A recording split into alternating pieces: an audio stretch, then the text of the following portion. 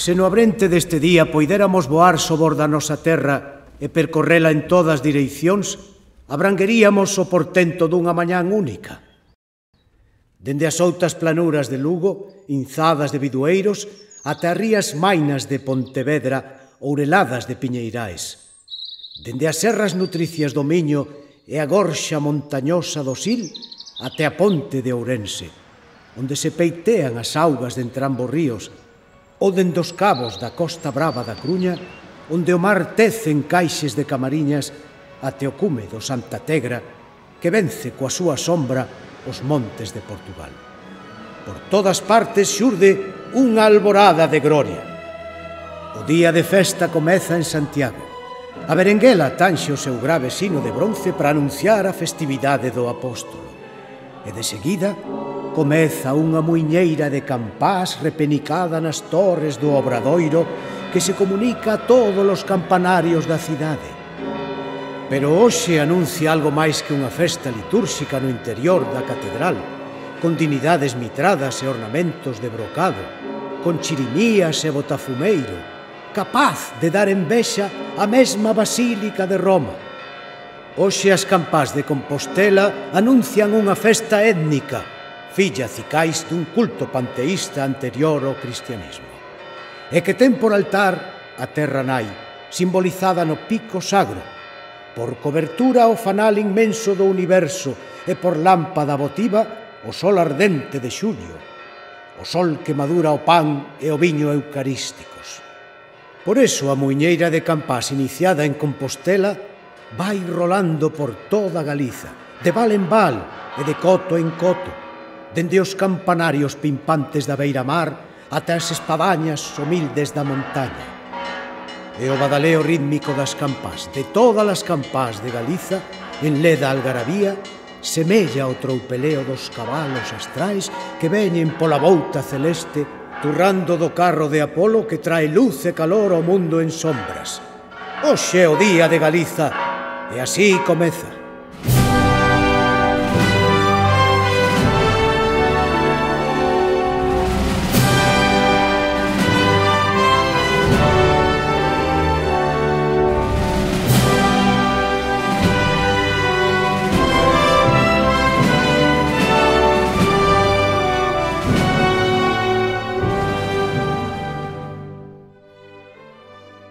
Hoxe é a festa maior de Galiza, festa de todos os galegos, pero ninguén pode sentila como a nós os emigrados, porque en tal día como este reviven as lembranzas acumuladas. En a moita distancia agrándase o prodixio da patria.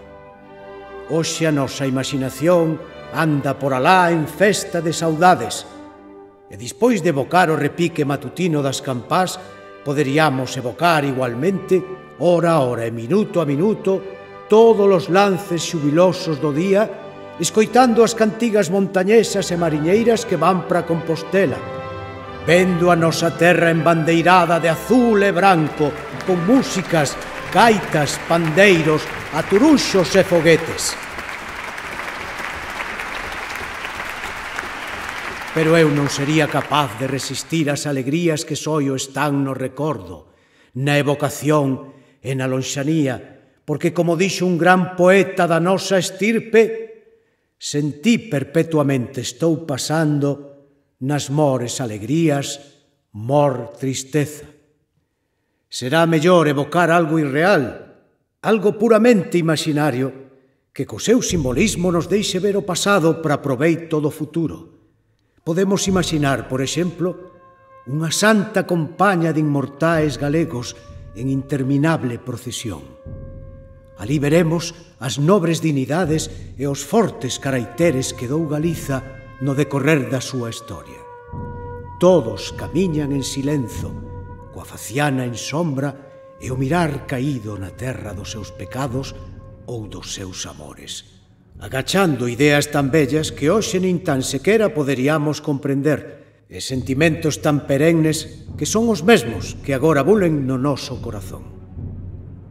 Alguns van revestidos con ricos panos e faiscantes armaduras, e os máis deles camiñan descalzos e nus, cos osos prateados polo fulgor astral. O frente de todos vai Prisciliano, o heresiarca decapitado, levando a súa propia cabeira nunha arqueta de marfín e afincándose nun longo caxato que remata coa fauce dos druidas a modo de báculo episcopal. Siguen a Prisciliano moitos adeptos, paróns e mulleres. Detrás veñen dous magnates que cicais sexan Teodosio, o grande emperador de Roma, e San Damaso, o sumo pontífice da cristiandade, seguidos ambos por unha hoste de soldados e gregos. Ollamos despois unha ringleira de mortos esclarecidos portando atributos da súa dignidade ou profesión Ali recoñecemos a peregrina eteria con túnica de branco liño e camiñando con arfado compás. O historiador Paulo Orosio, o discípulo de San Agostinho, cun rolo de pergameos na man, o bispo e cronista Itacio que alumea o camiño cunha lámpada de bronce, a San Pedro de Mezonzo, o autor da Salva Regina Mater, o cántico máis sublime da Irexa, cunha fragante azucena nos beizos o fundador San Rosendo, que sostén litúrxicamente a custodia do noso escudo tradicional, e moitos outros. Detrás aparece Xelmírez, o primeiro arcebispo de Compostela, revestido de pontifical, con aurifunxente cortexo de mitrados e coengos. Após do perlado, ven Alfonso VII emperador con cetro na destra, espada na sinestra e coroa de ouro e pedrarías nas sens siguen o emperador, o conde de Traba e demais bultos da soberba feudal de Galiza. Ollamos dispois os monxes letrados en longa fileira con velas acesas e libros abertos. Ven detrás o mestre Mateo co Apocalipsis debaixo do brazo, encabezando unha grea de arquitectos e imaxineiros que portan as ferramentas das súas artes. Aparece de seguida unha moitedume de xograres e trovadores, en mestura de tipos e atavíos, Algúns semellan ter sido monxes, outros calzan esporas de ouro en sinal de que foron cabaleiros, e os máis deles van esfarrapados, con bellas cítaras, laúdes e zanfoñas ao lombo. Alí recoñecemos a Bernaldo de Bonaval, Airas Nunes e Anes do Cotón, Pero da Ponte, Pero Meogo, Xoán de Guillade, Mendiño, Xoán Airas, Martín Códax, Paio Gómez Charino, Macías o namorado e tantos outros, todos con lume no peito. Non tardan en aparecer as dúas velidas e infortunadas irmáns Inés e Xoana de Castro, a que reinou en Portugal dispois de morta e a que foi raíña de Castela nunha soia noite morna de Brán, como dúas rosas murchas levando en bandexas de prata as coroas do seu efémero reinado. Veñen dispois os moitos varóns altaneiros de Galiza, os señores feudais, que non souperon vivir en paz nin consigo mesmos. Todos montados en cabalos negros.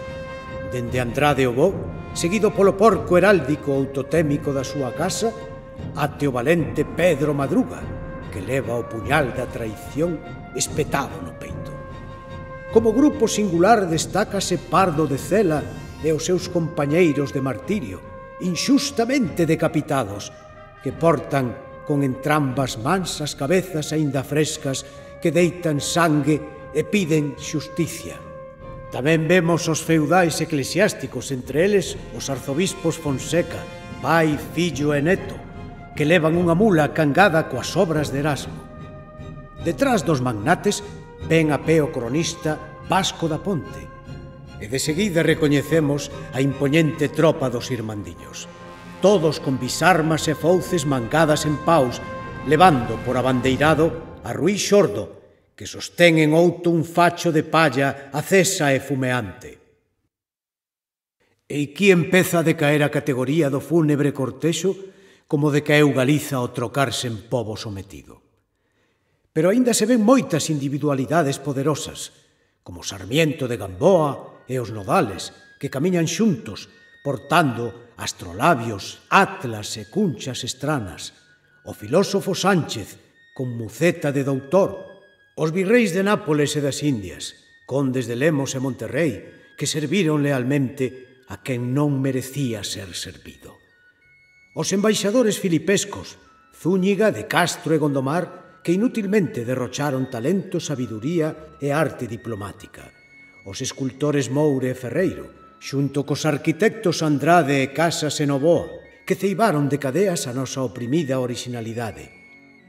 O padre Sarmiento e o padre Feixó, que remediaron o atraso cultural de España coa súa erudición e o seu xenio enciclopédicos. Ben a xiña Nicomedes Pastor Díaz coa súa lira de nácar, abrindo a renascencia literaria de Galicia, seguido polos poetas Añón, Rosalía, Pondal, Curros, Lamas e moitos outros, todos con estrelas sobor da frente.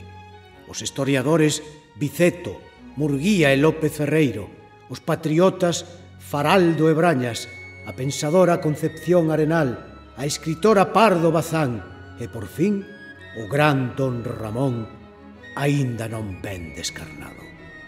En canto a santa compaña dos inmortais se perde na revolta dun camiño, detrás dun pinal vemos xurdir do humus da terra nai, saturada de cinzas humanas, unha moitedume infinita de luciñas, que son os seres innominados que ninguén recorda xa e que xuntos compoñen o sustrato insobornável da nosa patria. Esas ánimas sen nome son as que crearon o idioma, a cultura, as artes, os usos e costumes, o feito diferencial de Galiza. Elas son as que humanizaron a nosa terra patria infundíndolle a todas as cousas que na paisaxe se nos amostran o seu propio espírito, co que pode dialogar o noso corazón antigo e panteísta.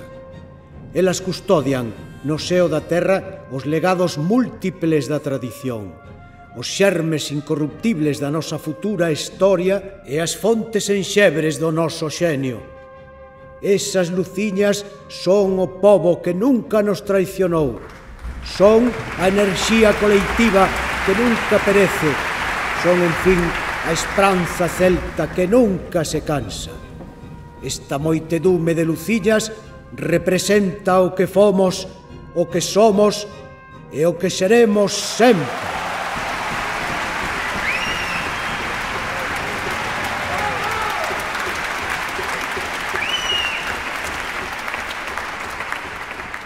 Esta evocación vai dirixida a todos os galegos, pero no día de hoxe, eu e a maioría dos galegos que me escoitan temos a obriga de percorrer devotamente os cimeterios de Galiza, onde repousan os derradeiros mártires en número incontable.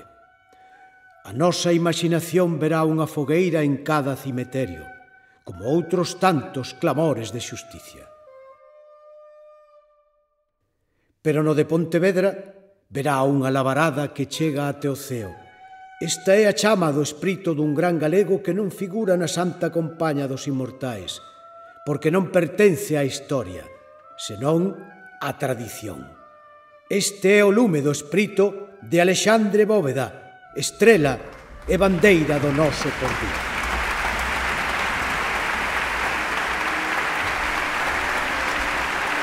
Velaí o que eu quería decir neste día de Galiza En loubor da nosa tradición e por riba da nosa historia, todos os galegos que residen nesta terra que para nós é unha segunda patria. E nada máis, amigos e irmáns, que a fogueira do Espírito siga quentando as vosas vidas e que a fogueira do lume nunca deixe de quentar os vosos fogares.